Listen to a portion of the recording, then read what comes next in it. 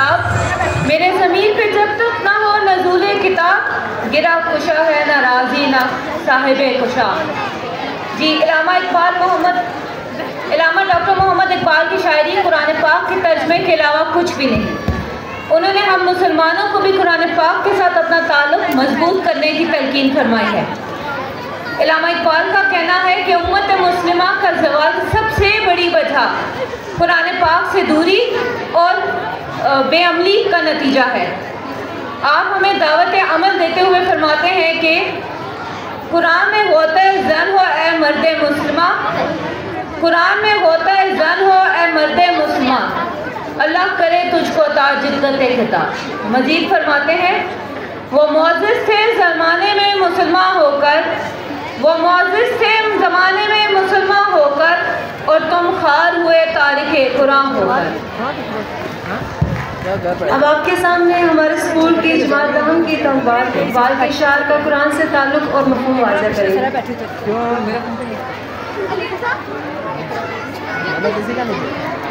थोड़ा जब बच्चा पीछे हाँ अंकल जी लेंगे तो इंजन हाँ भाई सर आज मुझे मिला जी सर आज ने मैंने उधर बैठ के खाओ दादो का क्या ये तेरा वो है के पास नहीं यार मेरा ऐसा खड़ा रहा है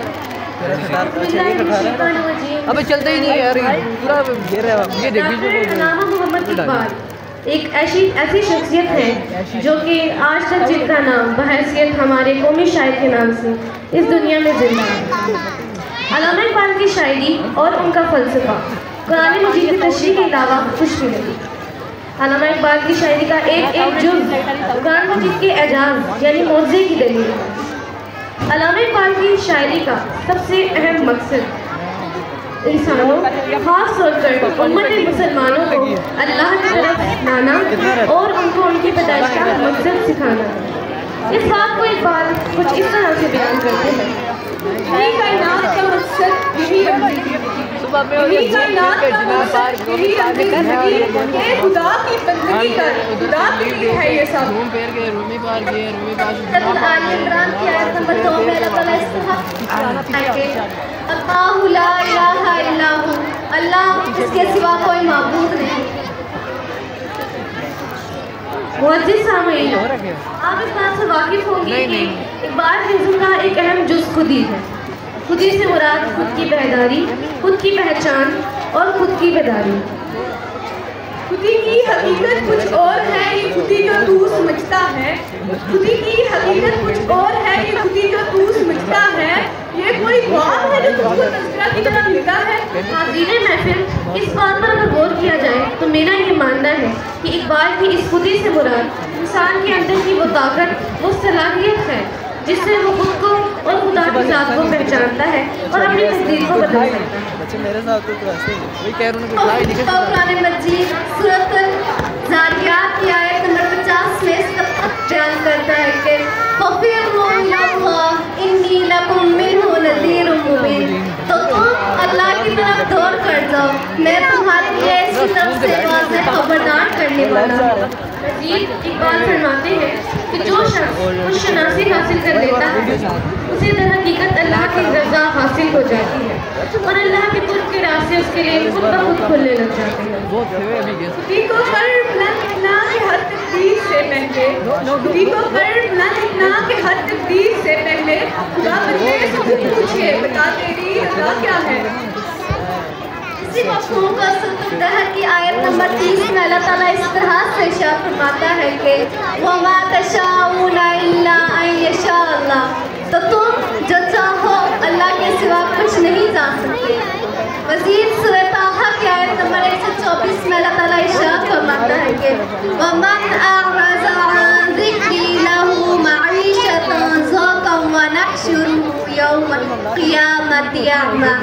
और जो मेरी नसीहत से मुँह फेरेगा, इसके लिए दुनिया की ज़िंदगी तंग कर दी जाएगी और क्यामत के दिन हम उसे औंधा उठाएँगे। इसी बात को एक बार, अल्लाह की तरफ़ से उम्मत मुस्लिमा से कुछ लोग बयान करते हैं वो मुजिस थे ज़माने में मुसलमान होकर, वो मुजिस थे ज़माने में मुसलमान होकर तुम हार हुए तारे कुरान होकर यही सवाल पुराने मजीद इस तरह से करता है कि, अलम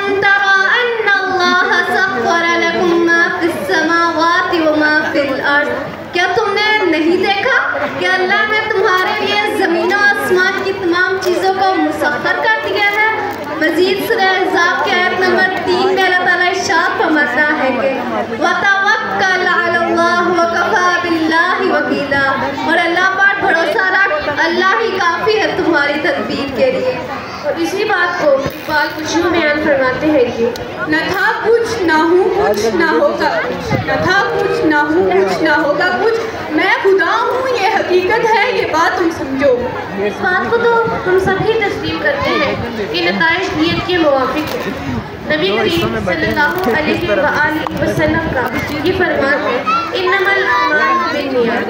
बेशक अमाल का दारो मदार नियतों पर नबी करीम के इस फरमान से ये बात साबित होती है कि इकबाल शायद कुरान से हटके बिल्कुल नहीं। क्योंकि इकबाल ने भी दावत देते हुए कुछ नहीं फरमाया था अमल से ज़िंदगी बनती है जन्नत भी भी।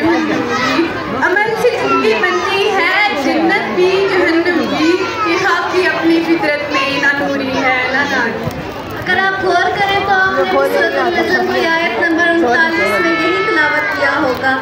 इंसान इल्ला और ये इंसान के लिए कुछ नहीं मगर वो जिसकी इसने कोशिश की। जब बात रूहानी आज़ादी की कर दी जाए और खुद मुख्तारी की ना की जाए तो क्या ये मुमकिन है? नहीं। इकबाल फरमाते हैं तू राजे कुन फका है अपनी आँखों पर अया हो जा। तू राजे फका है, अपनी आँखों पर अया हो जा। खुदी का राज ना हो जा, खुदा का तर्जमा हो जा। इसी को की आयत नंबर उनतीस में अल्लाह ताला बयान करता है कि और मैंने इसमें अपनी रूह में से फूंक दिया न सिर्फ़ अल्लामा इकबाल बल्कि दीगर शरा ने भी अपनी शायरी के ज़रिए से कुरान मजीद के कलाम, इर्शादात और अहकाम को वजाहत किया है। जैसे कि मौलाना ज़फ़र अली फरमाते हैं, खुदा ने आज तक उस कौम की हालत नहीं बदली। खुदा ने आज तक उस कौम की हालत नहीं बदली, ना हो जिसको ख्याल आप अपनी हालत बदलने का ये मफहूम सूरत रात की आयत नंबर 11 से लिया गया है। इन्नल्लाह ला युगय्यिरु मा और बेशक अल्लाह किसी कौम की हालत नहीं बदलता, जब तक वो खुद अपनी हालत ना बदले। इकबाल ने मुजातुल कुरान को न सिर्फ़ तस्लीम किया, बल्कि इसको हमने ज़िंदगी में नाफिज करने की कोशिश की। इकबाल ने एजाजुल कुरान को इतनी अहमियत दी है, ये अहमियत न सिर्फ़ किताबी अहमियत है, बल्कि एक ज़िंदा अहमियत है, जो आज तमाम बड़ी इंसानियत पर असर करती है। हाँ, हकीली महफिल अगर हम इस बात को तस्वीर से बयान करने लग जाएँ तो अल्फाज तो ख़त्म नहीं होंगे, लेकिन वक्त की किल्लत हो जाए। तो कुछ वक्त को मद्देनजर रखते हुए अब हम अक्सर चाहेंगे उम्मीद है आपको हमारी